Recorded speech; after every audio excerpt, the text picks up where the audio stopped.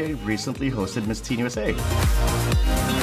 I go to the gym. Do you? So we invited several women who we feel would do very well in different pageants. I'm absolutely sure they can all win a crown. So I'm always the runner-up, never the winner. I know they're gonna make us sweat, maybe even cry. I think at the end of the day, we're all gonna come together as sisters. I was able to say or talk about certain things that I don't even talk about with like my friends. Oh girl, you better be ready because you don't want to mess with the Blasian girl because we put on a fight. Everyone can win a crown. Charot. I mean, you can go to Santee Alley and buy you one, but to win a crown, that's a different story altogether.